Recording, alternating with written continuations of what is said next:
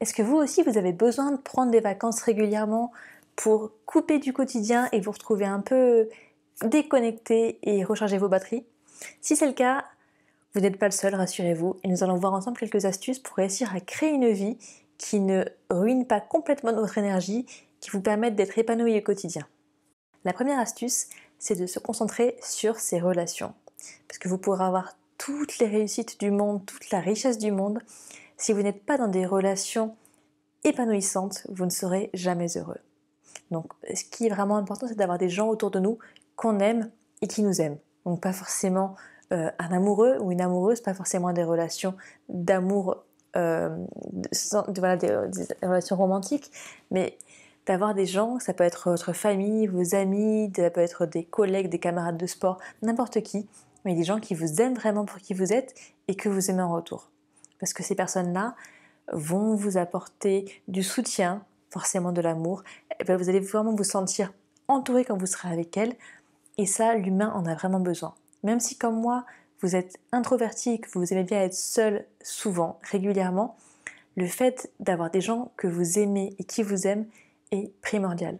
Parce qu'en retour, bien évidemment, vous, allez aimer les personnes et les soutenir. Donc c'est vraiment une relation d'échange et c'est l'humain est un être sociable, il a besoin d'être entouré, pas forcément tout le temps entouré plein de gens, ça ne veut pas dire que vous devez passer toutes vos soirées, aller dans des bars, dans des restaurants et passer tous vos week-ends avec vos amis parce que c'est ce qui est le plus important. Non, ça veut dire que vous savez qu'il y a des gens qui vous aiment et que vous aimez et que vous avez cette relation épanouie, sereine et que vous pouvez compter sur eux dès que vous, dès que vous en aurez besoin et inversement. Deuxième astuce, bien évidemment, c'est une chaîne minimaliste, donc ce sera se débarrasser des choses qui sont inutiles. Parce qu'on ne se rend pas compte à quel point les choses inutiles nous encombrent et pèsent sur notre quotidien tant qu'on ne s'en est pas débarrassé. Parce que malgré tout ce que nous disent les, publicités, toutes les, les, campagnes, tous les marketeurs, plus ne vous rendra pas plus heureux. Posséder plus, ce n'est pas forcément être plus ou être mieux. Avoir plus, ça veut juste dire bah, encombrer son appartement, son, sa maison, son lieu de vie et pas forcément être plus heureux. Et souvent, c'est même le contraire qui se produit. Parce qu'on vous vend, on vous vend un produit en vous disant ce produit, c'est ce qu'il vous faut, ça vous rendra heureux, ça vous rendra beau, ça vous rendra plus fort. Et comme vous n'aurez pas de résultat, ce sera un cercle vicieux et vous serez encore plus malheureux. Et du coup, vous allez vouloir acheter le nouveau produit qui vous rendra encore plus heureux d'après les publicitaires, etc. Donc c'est vraiment un cercle vicieux. Donc vraiment le fait de faire son tri, de désencombrer son lieu de vie, c'est primordial et c'est vraiment une étape, je pense, qui est déterminante pour avoir une vie heureuse et épanouie. La troisième astuce, on entend partout, elle n'est pas forcément facile à appliquer, mais c'est de faire de votre passion votre travail. C'est-à-dire avoir un travail qui vous plaît, pour lequel vous êtes content de vous lever chaque matin. Alors si vous êtes comme moi, vous savez que c'est pas forcément évident, donc je l'ai dit plusieurs fois, moi je travaille dans la finance et c'est pas forcément un domaine qui me plaît vraiment. Enfin, c'est pas que ça me plaît pas, c'est que je ne m'y épanouis pas. Je suis en train de me réorienter, donc typiquement je vais essayer de changer de travail pour réussir à, à vivre de ma passion. Donc ça veut dire faire des choix. Je préfère avoir un travail dans lequel je suis épanouie, qui me donnera pas envie de prendre des vacances toutes les six semaines parce que j'aime tellement pas ce que je fais que ça m'épuise. Je préfère gagner moins d'argent parce que clairement dans ma future carrière, je gagnerai beaucoup moins d'argent que dans la finance, mais je sais que je serai contente de le faire. Je ne dis pas que tous les jours seront roses et que tout sera beau, je le sais très bien, ne vous inquiétez pas, je ne suis pas complètement naïve, mais j'ai envie de faire ma passion mon métier. Donc c'est encore une fois, c'est pas forcément quelque chose d'évident. Euh, il faut faire des choix pour réussir à faire ça. Si vous avez la chance d'avoir un travail vocation, euh, vous êtes pompier, médecin, vraiment des métiers qui vous prennent au tripes, je suis ravie pour vous. Mais malheureusement, ce n'est pas le cas de 70% de la population. Donc il faut juste prendre du recul, savoir ce que vraiment vous voulez faire. Est-ce que vraiment votre travail vous déplaît au point de rendre votre quotidien minable? Si c'est le cas, je vous conseille de vraiment vous poser des bonnes questions et d'avoir un petit plan d'attaque pour faire évoluer votre, votre carrière. Et bien évidemment, si c'est pas possible, parce que c'est pas toujours possible, ben, faire de votre travail un une partie de votre passion. C'est-à-dire que, par exemple, moi je travaille dans la finance, imaginons que j'ai une passion qui est très coûteuse, et eh bien je me dirais que le fait de travailler dans la finance, ça me permet de gagner beaucoup d'argent et ça me permettra de, justement de pouvoir assouvir ma passion à côté. Donc je travaillerai peut-être toujours dans le métier qui ne pas forcément, mais si je le vois comme une étape pour réussir à accéder à, passer tous mes week-ends ou tout mon temps libre à faire ma passion, que ça vaudra le coup. Donc voilà, donc l'idée c'est vraiment de fusionner travail et passion, et si c'est impossible, voir juste votre travail comme un tremplin vers votre passion. Ce qui nous amène à la quatrième astuce, c'est de vivre avec vos moyens, ne pas vivre au-dessus de vos moyens. Faites surtout ça l'astuce. Parce que si vous vivez au-delà de vos moyens, ça veut dire que vous allez vous créer de la dette. Si vous dépensez plus que vous ne recevez chaque mois, vous allez forcément augmenter votre dette et c'est nécessairement source de stress. Quoi qu'on dise, même si vous vous dites oui, c'est un petit emprunt, sera remboursé dans trois mois, malgré tout, vous savez que vous devez de l'argent, vous savez que vous avez de l'argent que vous allez devoir rembourser à court, moyen ou long terme, peu importe. Mais le fait d'avoir des dettes, c'est un facteur de stress. Et quand on est stressé, on n'est pas heureux ni épanoui, bien évidemment. Donc vivez avec vos moyens.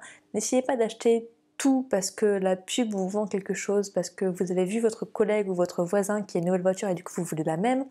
Ne vous comparez pas, ne comparez pas votre mode de vie à celui des autres. Vivez avec vos moyens et soyez heureux avec ce que vous avez. La cinquième astuce, c'est d'apprendre à garder votre temps, c'est-à-dire simplement d'apprendre à gérer votre temps comme vous en avez envie. Bien évidemment, vous aurez des contraintes comme tout le monde, mais il va falloir apprendre à dire non. J'ai fait une vidéo sur le sujet, mais apprendre à dire non pour vous garder des moments pour faire ce que vous avez envie de faire. Arrêtez de dépendre des envies et des besoins des autres pour faire votre vie. Vous vivez votre vie comme vous l'entendez, et si vous n'avez pas envie d'aller à l'apéritif que votre collègue vous propose ce soir, apprenez à dire non pour faire ce que vous avez envie de faire. Pour vous, c'est important. Je ne dirai jamais assez, mais votre temps et votre attention sont vos deux ressources les plus précieuses parce qu'elles sont limitées et vous ne pouvez jamais les récupérer. Donc, consacrez votre temps à des choses qui vous tiennent à cœur et qui vous redonnent de l'énergie, que vous avez envie de faire. Et ne consacrez pas votre temps et votre attention à des choses qui, pour vous, n'en valent pas la peine. La sixième astuce, c'est de prendre soin de vous. Ça paraît très bête, mais vous ne pouvez pas prendre soin des autres si vous ne prenez pas soin de vous d'abord. Donc, prenez le temps de faire du sport, de bien manger, de vous faire faire des massages, peu importe ce qui vous fait du bien, mais prenez le temps de poursuivre ces habitudes qui sont saines, qui vous permettent d'avoir des niveaux d'énergie élevés. C'est ce qui vous permettra d'être là, présent pour vos proches qui ont besoin de vous. Et bien évidemment, en retour, ils seront là quand vous avez besoin d'eux. Donc ça vous permettra d'avoir un, système de, de soutien autour de vous vous aurez beaucoup plus d'énergie, vous aurez sûrement beaucoup moins besoin de prendre des vacances également, c'est un peu le but de la vidéo. Vous aurez une vie qui sera plus sereine, moins stressante, vous serez bien dans votre tête et dans votre corps, donc forcément vous serez plus heureux. La septième astuce, c'est d'apprécier chaque saison de votre vie, parce que votre vie est composée d'une multitude de petites saisons qui se succèdent. Donc c'est d'abord, vous êtes enfant, vous allez à l'école, vous êtes étudiant, vous vous mariez, vous avez des enfants, dans l'ordre que vous voulez. Hein. Tout le monde n'a pas les mêmes saisons, bien évidemment. Mais comme une année a quatre saisons, votre vie est rythmée par plusieurs saisons. Et ce qui est important, c'est de savoir apprécier la saison dans laquelle vous êtes actuellement. Et de, bien évidemment, il y a des côtés négatifs dans chaque saison. Quand vous êtes, euh, quand vous êtes actif, que vous avez une carrière qui vous convient, que vous êtes au pic de votre carrière, vous n'avez pas forcément le temps pour vous consacrer à des choses en dehors de votre travail, des choses qui vous plaisent vraiment. Quand vous êtes enfant, vous voulez être plus indépendant et du coup vous vous sentez mal de ne pas pouvoir faire tout ce que vous voulez. Chaque saison a des travers, chaque saison a des choses qui nous frustrent, mais chaque saison a aussi beaucoup de choses qui nous permettent de grandir, d'évoluer et d'être heureux. Donc si on se concentre vraiment sur les choses qui nous rendent heureux dans chaque saison et pas aux petites choses qui bah, forcément sont négatives, on sera beaucoup plus heureux et on appréciera plus, plus chaque saison de notre vie et à long terme, pas besoin de changer de vie, on sera heureux là où on est aujourd'hui. Et voilà comment on arrive au huitième et dernier point, c'est d'apprécier ce qu'on a aujourd'hui.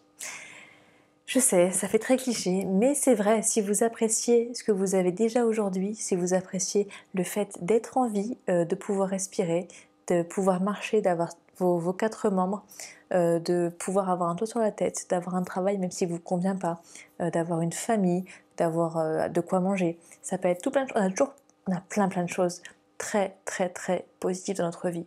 Parfois on pense trop au négatif et on ne prend pas le temps de s'arrêter et de voir tout ce qu'on a déjà. Peut-être que vous n'avez pas l'appartement dont vous rêvez, peut-être que vous n'avez pas la carrière ou la famille dont vous rêvez.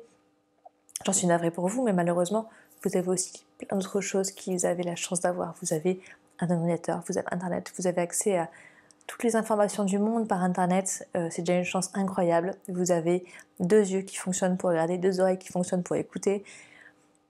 Voilà, vous, êtes, vous avez de la chance. Et donc le, bonheur, c'est pas quelque chose qu'on va un jour découvrir par hasard. Le bonheur, c'est de prendre le temps d'apprécier ce qu'on a aujourd'hui et de pas passer du temps à se projeter sur ce que je devrais avoir, ce que je n'ai pas, ce que je pourrais avoir, et ce que sera demain, et ce qui a été hier. Le vrai bonheur, c'est de se centrer sur ce qu'on est aujourd'hui et ce qu'on a aujourd'hui et de l'apprécier.